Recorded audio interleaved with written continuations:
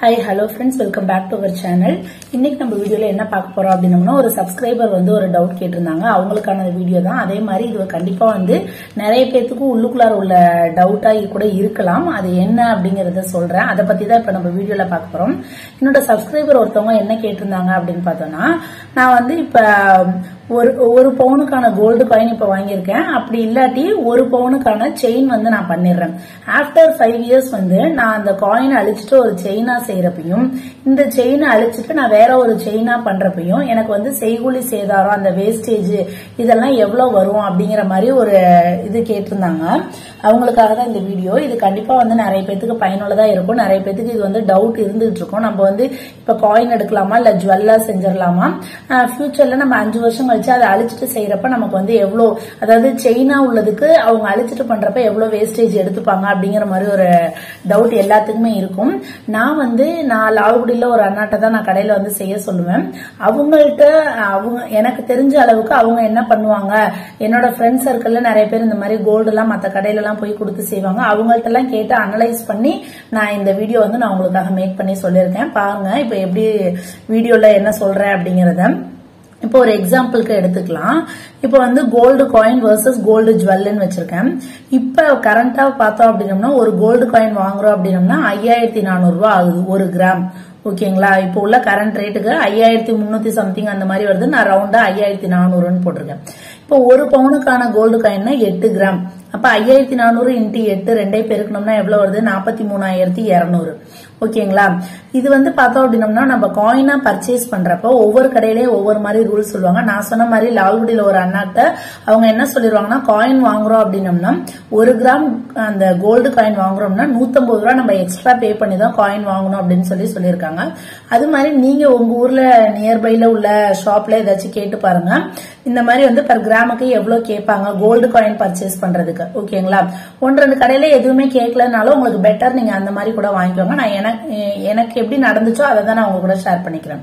இப்ப பர் கிராமுக்கு நூற்றம்பது ரூபா ஆட் பண்ணி தர சொல்லுவாங்க. அப்ப எட்டு கிராமுக்கு எவ்வளவு நம்ம எக்ஸ்ட்ராவாக ஆட் பண்ணோம்? ஆயிரத்தி இருநூறு ரூபா. அப்ப டோட்டலா எவ்வளவு வருது? அந்த எட்டு கிராம் கோல்டு காயினோட விலை நாற்பத்தி மூணாயிரத்தி இருநூறு அதுக்கு நம்ம எக்ஸ்ட்ரா சார்ஜ் எவ்வளவு பண்றோம்? ஆயிரத்தி இருநூறு ரூபாய். அதை டோட்டல் பண்ணோம்னா எவ்வளவு வருது? நாற்பத்தி நாலாயிரத்தி நானூறு அப்போ அப்ப இப்ப கரண்டா என்கிட்ட வந்து ஒரு பவுனுக்கு கோல்டு காயின் இருக்குன்னா எவ்வளவு காசு செலவு பண்றேன் நானு? நாற்பத்தி நாலாயிரத்தி நானூறுரூவா செலவு பண்ணி ஒரு கோல்டு காயினை வாங்கிடுறேன். வேற இப்ப நீங்க வந்து ஒரு அந்த எட்டு கிராம் அதாவது ஒரு பவுனுக்கு கோல்டு ஜுவல் செய்யறீங்க லைக் தோடா செய்யறீங்க இல்ல செயின் செய்யறீங்க இல்ல மோதிரம் செய்யறீங்க ஏதோ ஒன்று செய்யறோம் அப்படின்னம்னா நமக்கு எவ்வளவு செலவாகுது அப்படின்னு சொல்லி பார்க்கலாம். இதுல நமக்கு என்னென்ன செலவாகும்? ஃபர்ஸ்ட் எட்டு கிராம் செயின் பண்றோம். பிளஸ் அதாவது எட்டு கிராமுக்கு எவ்வளவு கிராம் வந்து வேஸ்டேஜ் ஆகும் அப்படின்னு பார்த்தோம்னா ஒரு கிராம் பக்கம் வேஸ்டேஜ் ஆயிரும். ஓகேங்களா? இது என்ன கணக்கு அப்படின்னம்னா நீங்க ஒரு பவுன் பண்றீங்க அப்படின்னம்னா கண்டிப்பா வந்து ஒரு கிராம் வந்து வேஸ்டேஜ் ஆகும். ரெண்டு பவுன் பண்றீங்க அப்படின்னம்னா ரெண்டு கிராம் வந்து வேஸ்டேஜ் ஆகும். அந்த மாதிரி தான் ஆகும். ஓகேங்களா? அது மாதிரி எட்டு கிராம் செய்யணும்னா நமக்கு ஒரு கிராம் வந்து வேஸ்டேஜ் ஆகுது. அப்ப நம்ம எவ்வளவு கிராமுக்கு பைசா கொடுக்கணும்? ஒன்பது கிராமுக்கு பைசா கொடுக்கணும்.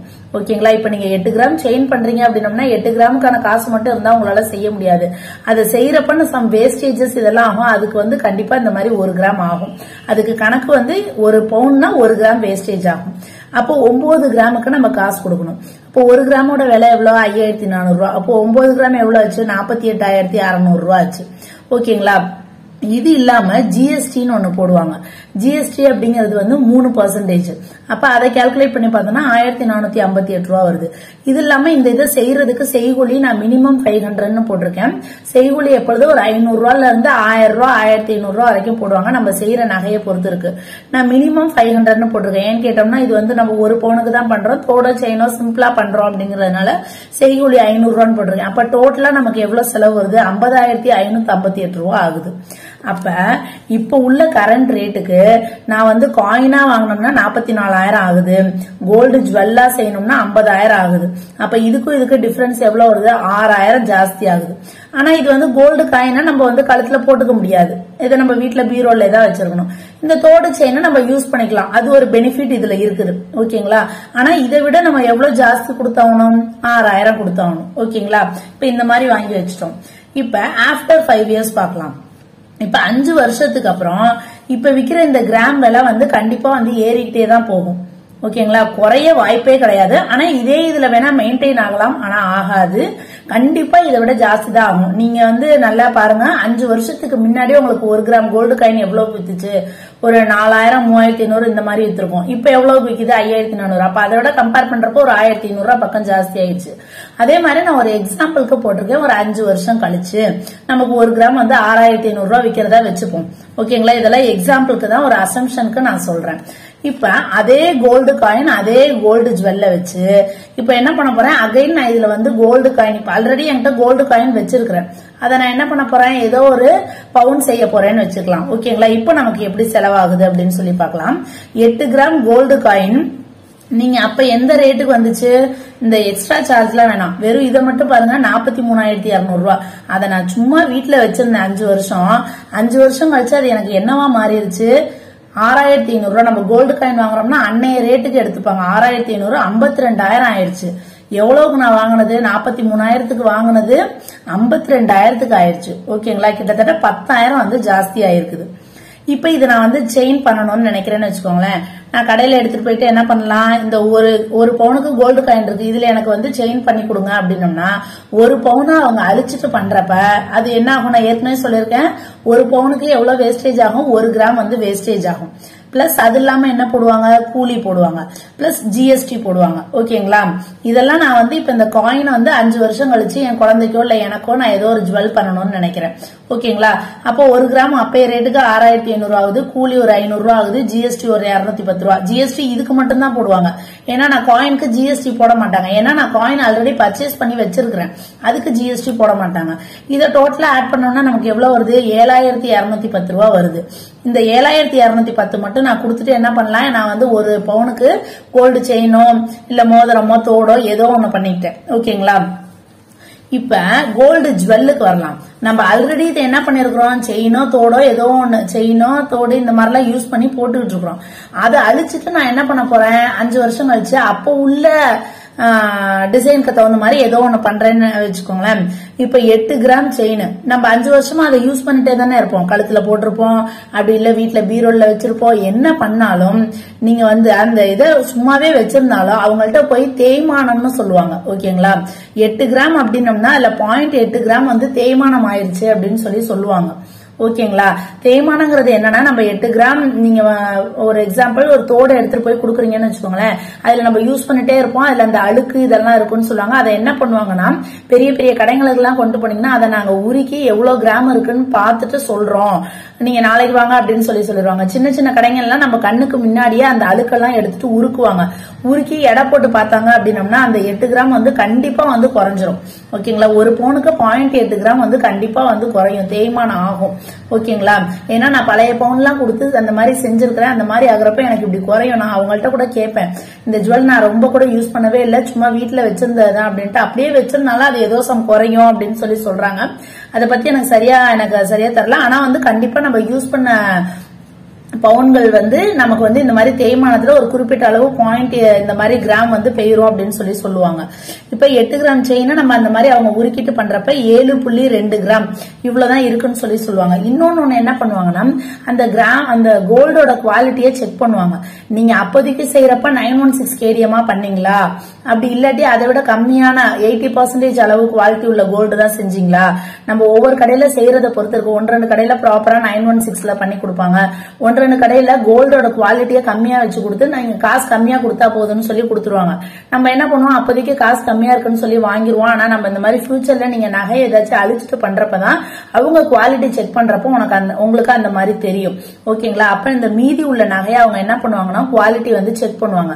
குவாலிட்டி செக் பண்ணிட்டு அது ஏதாச்சும் அவங்க சொல்லுவாங்க. உங்களுக்கு உங்களோட குவாலிட்டி இந்த மாதிரி கம்மியா இருக்கு இப்படி இருக்கு அப்படின்னு சொல்லிட்டு. அந்த மாதிரி சம்திங் ஏதாச்சும் சொல்றாங்கன்னு வச்சுக்கோங்களேன் மீதி ஏழு கிராம் மட்டும் இருக்கிற மாதிரி தான் சொல்லுவாங்க. எட்டு கிராம் கொண்டு போனீங்கன்னா அஞ்சு வருஷம் கழிச்சு கண்டிப்பா அதுல ஒரு கிராம் வந்து இருக்காது. ஓகேங்களா? அப்ப ஏழு கிராம் தான் இருக்கு அப்படிங்கிற மாதிரி சொல்றாங்க. இப்ப நம்ம ஒரு பவுனுக்கு ஏதோ ஒரு செயின் பண்ண போறோம் அப்படின்னோம்னா நம்ம எக்ஸ்ட்ராவா எத்தனை கிராமுக்கு காசு கொடுத்தாகணும்? கண்டிப்பா ஒரு கிராமுக்கு கொடுத்தாகணும். ஓகேங்களா இப்ப நான் ஜுவல் பண்ண போறேன் ஒரு பவுனுக்கு பண்ண போறேன். ஆல்ரெடி என்கிட்ட என்ன இருக்குது? பழைய நகையை அழிச்சிட்டு பண்றப்ப ஏழு கிராம் மட்டும்தான் இருக்குது. ஓகேங்களா திருப்பி நான் எக்ஸ்ட்ராவா எவ்வளவு கிராமுக்கு காசு கொடுக்கணும்? ஒரு கிராமுக்கு அது இல்லாம ஒரு பவுன் பண்றப்போ ஒரு கிராம் வேஸ்டேஜ் ஆகும். பிளஸ் கூலி பிளஸ் ஜிஎஸ்டி மூணு பர்சன்டேஜ் ஆகும். ஓகேங்களா? இது இல்லாம இந்த ஏழு கிராமுக்கு ஒன்று ரெண்டு கடைகள்ல தான் அன்னைய ரேட் என்னவோ அதையே போட்டுக்குவாங்க. ஆனா ஒன்று ரெண்டு கடையில அந்த அன்னைய ரேட்டே போட மாட்டாங்க. இது வந்து பழைய நகைன்னு சொல்லிட்டு அதுக்குமே வந்து காசு கம்மி பண்ணுவாங்க. இது ஒவ்வொரு கடையை பொறுத்து வேரி ஆகும். ஓகேங்களா? நான் பண்ற கடையில ஆனா அன்னைய ரேட் இதே அப்படியே போட்டுப்பாங்க. நமக்கு இந்த வே- அந்த தேய்மானம் இந்த இதெல்லாம் மட்டும் குவாலிட்டி எல்லாம் பார்த்து கழிச்சிட்டு மீதி எவ்வளவு கிராம் இருக்கோ அது அன்னைய ரேட் இதுக்கே நமக்கு வந்து போட்டு தருவாங்க. ஆனா ஒவ்வொரு கடையில கண்டிப்பா இது வந்து வேற மாதிரி தான் போடுவாங்க. அன்னைய ரேட்டு பழைய பழைய நகைக்கு அந்த புது ரேட்டே போடவே மாட்டாங்க. ஓகேங்களா? நான் ஆனா இங்க பண்ணிருக்கிறது வந்து எனக்கு தெரிஞ்ச விஷயத்த தான் நான் சொல்லியிருக்கேன். ஏன் நான் பண்ற கடையில அந்த அண்ணா வந்து அப்படி போட மாட்டாங்க. என்ன புது ரேட்டா அதே வந்து போட்டுப்பாங்க. அப்ப எக்ஸ்ட்ராவா நான் ஒரு கிராம் கொடுக்கணும். ஒரு கிராம் வேஸ்டேஜ் கூலி ஜிஎஸ்டி இதெல்லாம் ஆட் பண்ணோம்னா எவ்வளவு வருது? பதிமூணாயிரத்தி தொள்ளாயிரத்தி அஞ்சு ரூபா ஆகுது. நான் இங்க வந்து காயினை வச்சிருந்தேன்னா எவ்வளவுதான் போட்டேன்? ஏழாயிரத்தி இருநூத்தி பத்து ரூபா தான் போட்டேன். இங்க எவ்வளவு ஆகுது? பதிமூணாயிரத்தி தொள்ளாயிரத்தி அஞ்சு ரூபா ஆகுது. அப்ப இங்கேயுமே எனக்கு டிஃபரன்ஸ் எவ்வளவு வந்துருச்சு? ஆறாயிரத்தி எழுநூறு ரூபா. நான் ஏற்கனவே அஞ்சு வருஷத்துக்கு முன்னாடி எக்ஸ்ட்ரா எவ்வளவு கொடுத்துருக்கேன் ஆறாயிரம் கொடுத்து வச்சிருக்கிறேன். இப்பயும் எவ்வளவு வந்துருச்சு எனக்கு? ஆறாயிரத்தி எழுநூறுவா அப்ப டோட்டலா எனக்கு எவ்வளவு ஜாஸ்தி ஆயிடுச்சு பன்னெண்டாயிரம். பன்னெண்டாயிரத்துல இருந்து பதிமூணாயிரம் பக்கம் ஜாஸ்தி ஆகுது. ஓகேங்களா? ஆனா என்ன ஒரு பெனிஃபிட்னா இதுல வந்து நீங்க நகையை வந்து நீங்க கழுத்துலயோ இல்ல இந்த மாதிரி போட்டிருந்திருப்பீங்க. இதை வந்து நீங்க வீட்டுல வச்சிருந்திருப்பீங்க. அவ்வளவுதான். ஓகேங்களா அதனால வந்து நான் என்னை பொறுத்தளவுக்கு கோல்டு காயின் தான் பெஸ்ட் அப்படின்னு சொல்லி சொல்லுவேன். அதாவது நீங்க ஆல்ரெடி கழுத்துக்கு செயின் தோடு இதெல்லாம் போட்டது போக எக்ஸ்ட்ராவா உள்ளதை இன்வெஸ்ட் பண்றதுதான் நான் வந்து காயினா அந்த மாதிரி சேர்த்து வைக்க சொன்னேன். ஓகேங்களா நிறைய பேர் அப்ப எனக்கு கூட கமெண்ட்ல ஒருத்தவங்க கேட்டிருந்தாங்க அப்ப நீங்க போட்டிருக்க தோடு செயின் இதெல்லாம் அழிச்சிட்டு காயினா வச்சுக்கலாம்ல அப்படின்னு சொல்லிட்டு. நான் சொன்னது நம்மளோட என்னென்ன தேவைகள் இருக்கோ அதுக்கெல்லாம் நம்ம வந்து நகையை வந்து கண்டிப்பா போட்டிருப்போம். கையில வளையல்ல இருந்து தோடு மூக்குத்தி செயின் இதெல்லாம். அது இல்லாம எக்ஸ்ட்ரா காசை இன்வெஸ்ட் பண்றதுதான் நான் வந்து நீங்க காயினா வாங்கி வைங்க. வாங்கி வச்சுட்டு நீங்க அதுக்கப்புறம் வந்து ஃபியூச்சர்ல எப்ப தேவைப்படுதோ அப்போ ஒரு டைம் வந்து நகை செஞ்சுக்கோங்க அப்படின்னு சொல்லிட்டு. அதே மாதிரி நீங்க ஒரு ஜுவல் பண்றீங்க அப்படின்னம்னா அதை அடிக்கடி அழிச்சு அழிச்சு பண்றது அந்த மாதிரி இதே வச்சுக்க கூடாது. ஓகேங்களா நீங்க ஒரு குழந்தைக்கு நீங்க ஏதாவது ஒன்று பண்ணணும்னு நினைக்கிறீங்க அப்படின்னம்னா அதை வந்து காயினா சேர்த்து வச்சு அந்த ஒரு செயினோ ஏதோ ஒன்று செஞ்சு கொடுத்துருங்க. இப்போ ஒன்று செயினை செய்யறது ஒரு ஒரு கிராமுக்கு செயின் செய்ய வேண்டியது. ஒரு அஞ்சு வருஷம் கழிச்சு திருப்பி அந்த செயினை அழிச்சிட்டு வேற பண்ண வேண்டியது. அழிச்சு அழிச்சு பண்ணீங்க அப்படின்னம்னா உங்களுக்கு தேவையில்லாம அந்த நகை வந்து அந்த அழிக்கிறப்ப உருக்குறப்ப தேவையில்லாம அந்த தேய்மானம் வேஸ்டேஜ் அது இதுன்னு நிறைய போயிரும். அதனால நீங்க நகை செய்யறதுக்கு முன்னாடி ஒரு வாட்டிக்கு ரெண்டு வாட்டி நல்லா யோசிச்சு கொஞ்சம் ஒரு பத்து வருஷம் பதினஞ்சு வருஷமாவது அந்த நகையை எதுவும் அழிக்காம போட்டுக்கணும். ஓகேங்களா? அந்த மாதிரி ஐடியா பண்ணி நீங்க வந்து செய்யுங்க. அதே மாதிரி கோல்டு காயின் கண்டிப்பா நீங்க இந்த வீடியோ பாத்தீங்கன்னா ஒரு கிளியர் ஐடியா கிடைச்சிருந்திருக்கும். அஞ்சு வருஷமா இருக்கட்டும் பத்து வருஷமா இருக்கட்டும் எப்பயா இருந்தாலும் நமக்கு கோல்டு காயின் வாங்குறது தான் பெஸ்ட் அப்படின்னு சொல்லி நான் சொல்லுவேன். ஓகேவா ஃப்ரெண்ட்ஸ் அவ்வளவுதான் இந்த வீடியோ கண்டிப்பா இந்த வீடியோ உங்களுக்கு பயனுள்ளதா இருக்கும்னு நினைக்கிறேன். இருந்துச்சு அப்படின்னம்னா இந்த வீடியோக்கு ஒரு லைக் கொடுங்க. மறக்காம சேனலை சப்ஸ்கிரைப் பண்ணி வச்சுக்கோங்க. உங்களுக்கு வேற ஏதாச்சும் டவுட்ஸ் இருக்கு இதுல எனக்கு வீடியோஸ் மேக் பண்ணி போடுங்க அப்படின்னு சொல்லி உங்களுக்கு தோணுச்சுன்னா கண்டிப்பா கமெண்ட்ல சொல்லுங்க. உங்களுக்காக நான் வீடியோ மேக் பண்ணி போடுறேன். ஃப்ரெண்ட்ஸ் அடுத்த ஒரு நல்ல வீடியோல பார்க்கலாம். தேங்க்ஸ் ஃபார் வாட்சிங் பை